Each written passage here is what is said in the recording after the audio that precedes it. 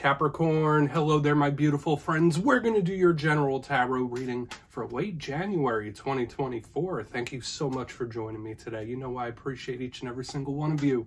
So let's get right down to business as always and start you off with an oracle card here, just so we could dip our toes into energy and see what's happening for the lovely Capricorns out there.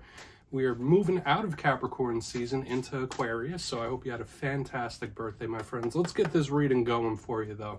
My guides, talk to me. What do we got? And yeah, we're just going to take a real quick look at this first card. Then we'll get into the full reading itself. And at the very end, I'll pull you a bonus card from the Shadowland Tarot just to see what might be in the shadows or what shadow work you can lean in on, which is always interesting. But let's get it going here. Let's rock and see what we got for Capricorn in late January. Please. And still, even though it's not Capricorn season anymore, it's your time of the year, right, my friends? Okay, so we have this Queen of Swords type of energy showing up here. Very stern. This is someone who's about their business, shrewd, straightforward, to the point. Generally, I see this as a very positive card. There's a lot of detail within it as well. But before we fully dive into that, if you're new here, I'll be speaking about the January subscriber surprise towards the end, so you might want to check that out. Also, if you could kindly illuminate that like button by tapping it right on its third eye, you know, I'd greatly appreciate it. But enough of the promo, into the reading. Let's talk a little bit more about this card. So yes, I call her the Queen of Swords. This is an Oracle deck, so it's not literally the Queen of Swords like we see in Tarot, but maybe some of you are connected to an air sign, right? Libra, Gemini, Aquarius. But if not, like I was saying a little earlier, this is a no-nonsense type of card whenever I see it. Of course, it's not gender specific, but whenever I see it to start off a reading, it's someone whose mind is right, it's very sharp, it's strategic, and once again, no BS. No games, cut and dry, straight to the point, which could be very good with whatever you're dealing with, whether it's personal things, whatever it might be. You just might be about your business, right? No games with this card. But at the same time, there's a challenge here of someone being a little bit too cold. So for a portion of you, maybe you're dealing with somebody that seems a little icy, right? Like an ice box where their heart used to be type of energy. It doesn't have to be too uh, too terrible. There's not a huge warning with the Queen of Swords, but it could be Spirit telling you to maybe ease up on something a little bit. Okay, don't look at everything as black and white. Try to see the nuance in certain situation. But I do like the no games approach of this Queen of Swords. So let's get into tarot now. And yeah, for some of you, that could just be representing an earth sign. I mean, an air sign, pardon me. But yeah, let's get you three tarot cards in the upright. Then we'll get into the intuitive juiciness. And I always say this first card, it doesn't make or break the reading. It's just a little footnote. But let's shuffle it up one time and see what we got for you this week, my friends. What's happening with Capricorn, please? And while we get the deck ready, let's talk about last week's reading. There was a nice wave of good positive energy coming in for a lot of you. So I hope you did have a good week. The reading was titled Big Win Incoming. And I always say wins come in all different shapes and sizes, right? Could be financial ones, could be interpersonal relationships. So I'm hoping you did have a win and that energy could still bleed over into the next couple of weeks. So that'll be a good thing. But we're going to see what we have for you this week. As you know, energy is very fluid, never set in stone. So only take this reading how it hits for you because we could be seeing your vibe or someone at your wing too. So let's get it going. Three cards for Cappy in the upright, please. Thank you. All right, yeah, we're starting nice. Pardon me. We have the Ace of Cups, beautiful. So just as we were starting with an Oracle card of the mind, now we have a card of the heart showing up here, which is an interesting play. Let's keep it moving. I always like when we start with an ace, okay? Because that could be something really good coming in. Hanged Man. Hmm. Little pulled back energy. Could be strategic. Could be plan-based. We'll see what that's all about. Let's get one more and then we'll really piece this together. What do we have for Capricorn? Thank you. Hey, there we go. We have the King of Swords to match that Queen of Swords energy. So yeah, I'm already seeing a little something here that we're going to have to address. I mean, of course, there's a lot to go, but let's go through. I'll give you some of the classical meanings and archetypes, and we'll get into that juicy intuitive stuff. So at first look, first glance, I look over here at the box. I'm seeing different elements happening. Yeah, there's quite an abundance of water here, especially with Hanged Man. That could be Scorpio. With the Ace of Cups, we also have the King of Swords, which is bookending this Queen of Swords. They both have very similar attributes, so it's still showing through here. Whether this is a person or not, like, this could be someone planning. There's a lot of strategy here with these back end cards, so we're going to have to really break it down piece by piece. So let's do that. Starting off in position number one, we have the Ace of Cups, beautiful. As I said, I love when a reading starts off with any ace. This is one of my favorite aces, right up there with Ace of Pentacles. Now, the Ace of Cups, in my simplistic style, could represent romance. It could represent the realm of feeling in your reading. When we clarify it, it could just tell us something that's coming towards you, a way you might be feeling on the inside. Usually jam-packed with love, all aces are opportunities or offers whenever I see it.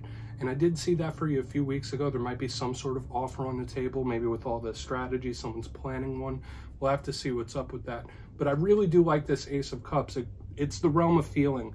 And one thing I will say, um, surrounding this ace, yeah, we have this hanged man in the middle. We have the realm of intellect. So it's an interesting mixture. We have like the heart, the mind.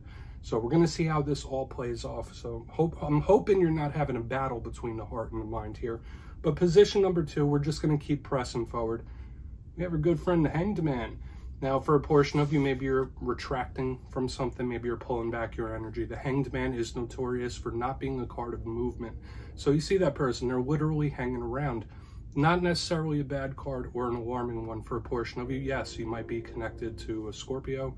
Some people even link it with Virgo as well. So you see we have the abundance of water energy, which is the realm of feeling. It's very subtle. The Hanged Man to me could mean a lot of different things there's an analysis happening here. There could be something that is within your sights under your microscope. Could be watching something or someone. Maybe someone's watching you as well when this hanged man's here. Very similar to the Page of Swords.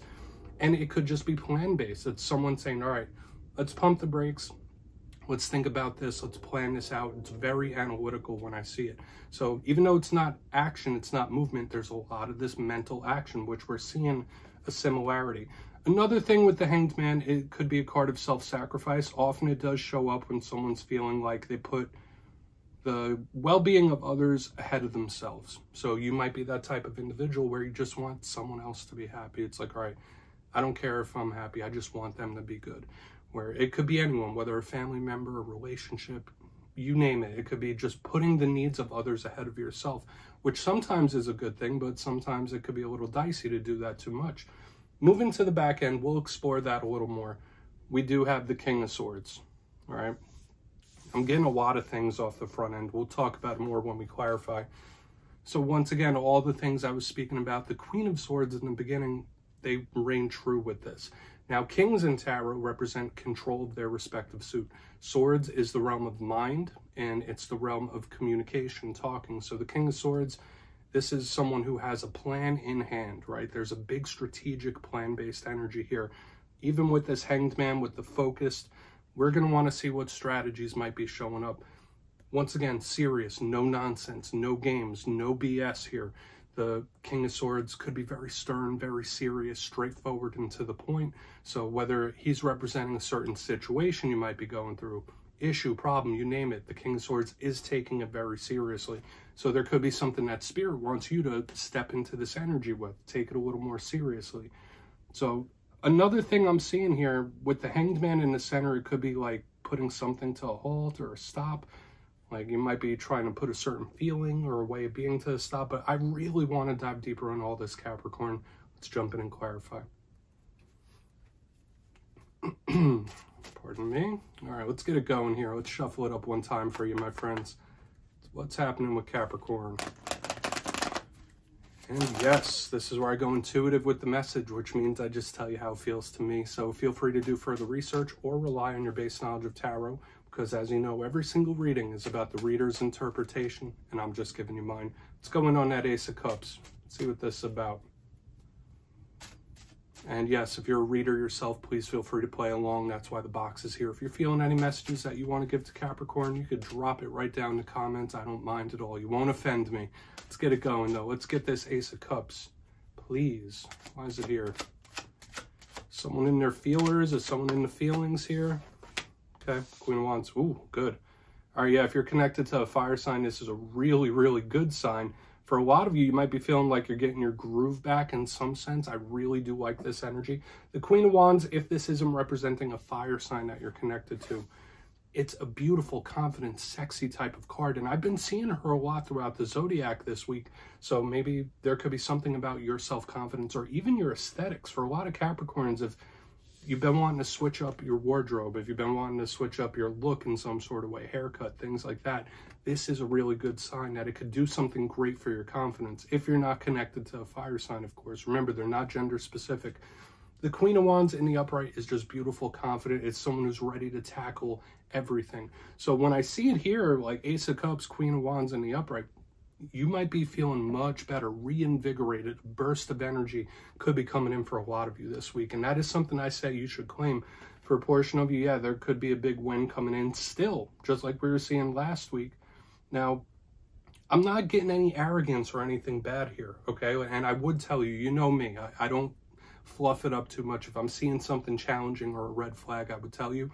For a lot of you, there's a big opportunity for you to either regain confidence or level up in one way or another. So this is really nice. We're not going to overcomplicate the message. We'll keep it as is. Let's keep moving over. Or this is someone who was feeling like they were super confident in something. We'll see though, because remember, there's a lot of plans here. There's a lot of looking. There's a lot of watching. So let's see why the Hanged Man is in the mix. Another thing I'll mention, you know, we had the Queen in the very beginning. Now we have a King. We have another Queen. Lots of people here, Capricorn. So just know you could be magnetic in this time. There could be a lot of people you're dealing with, a lot of people around you, or the energies of others could be affecting you in a big way. Keep that in mind. So let's go in on that Hanged Man. See what that's about. Really want to get over to that King of Swords. Thank you. Okay, yeah, someone could be taking a pause, taking a second to think something through. I'm still getting this strategy, so there could be somebody in the planning phase of something or the strategizing. We have judgment in reverse. Now, for another portion of you, yeah, there could be something that you were putting a stop to or a halt to. I don't want to say like, yeah, this is a big ending of some sort, but judgment is usually a card of transformation. It's a card of action. It's a card of movement. So when I see it in reverse, it's like, put the brakes on like, I'm not changing that. This is staying the same. And under a card like the Hanged Man, I'm just getting that big strategic play here. So for a portion of you, maybe there's something you're planning out, right? It could be planning a strategy on the next steps in life, what you're going to be doing a couple months, a year, two years, five years, who knows? Like there could be a lot of planning happening here, especially with this King of Swords here still to come.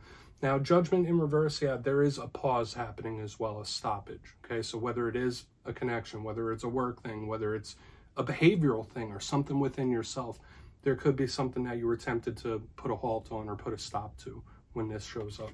So those are the main messages I'm picking up here. Like, yeah, there is this pause, this stoppage, but at the same time, there is like a lot of planning and strategizing happening. So let's move over to the King of Swords. Then we'll do a recap of the whole thing before we get into the shadow card.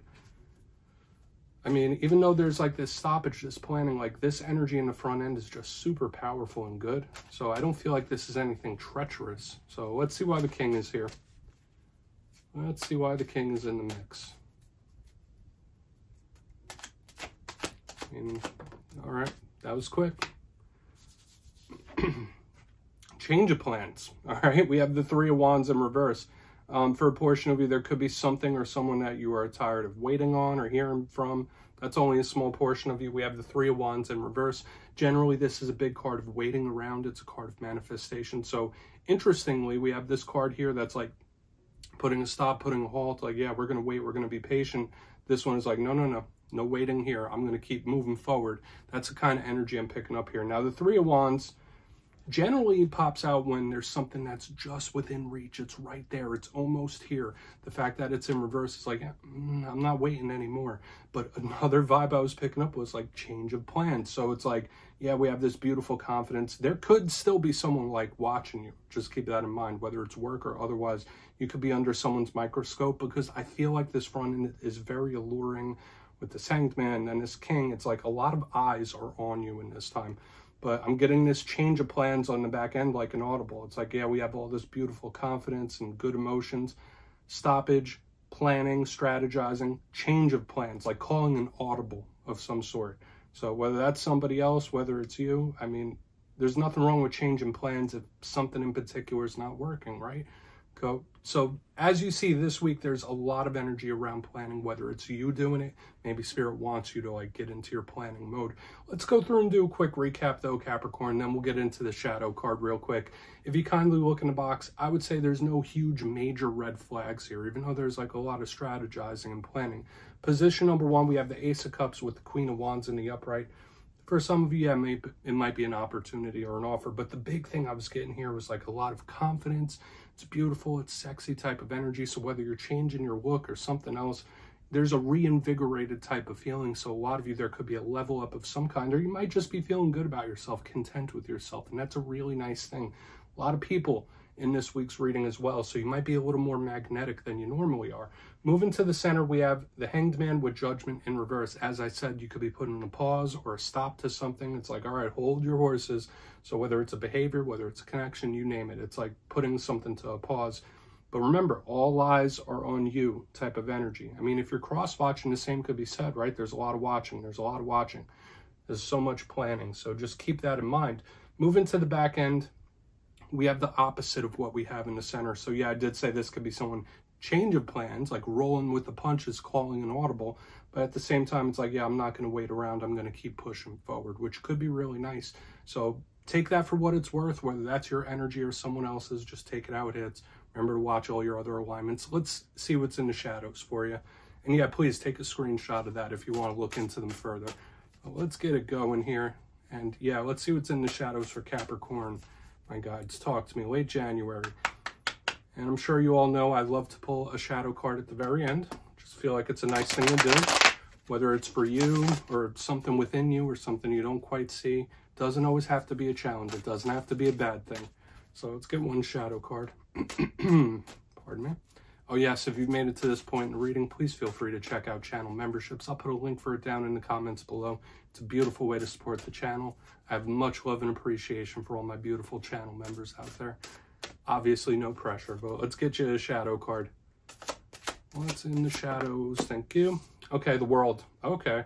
Yeah, there could be a couple of different things happening here when the world is showing up in the shadows, my friends. This is a very complex type of energy. It's a very complex card.